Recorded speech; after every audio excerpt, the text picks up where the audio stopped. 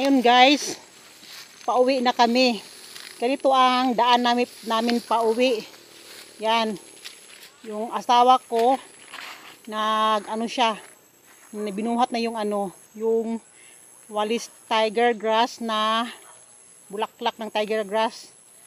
Yan. So, hindi siya plain. Ito, oh.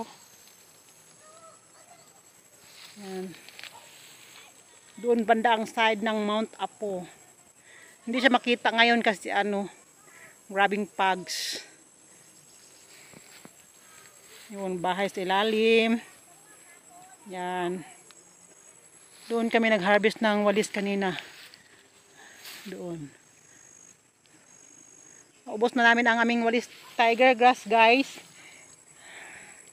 Ngayon pa namin siya maubos. Yan. Pahirapan guys. Lahat ng mga area namin medyo mga bakilid. Ito. Yun na sila guys. Layo na, hindi ko na makita. Ayun pala.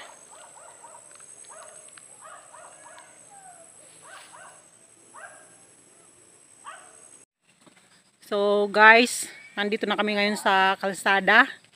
Kinakarga na yung aming ano, aming bulaklak ng tiger grass para umuwi sa bahay. Karga ng motor.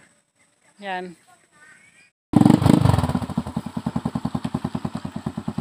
Yan na guys, pauwi na kami.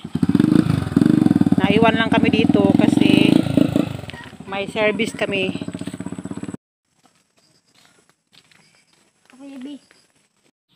Eto na guys, ang last namin ng bulaklak ng wa- walis tambo. Tiger grass. Yan, last na. Mag-focus naman ako sa pagbibilad, pagtanggal ng kanyang bulaklak.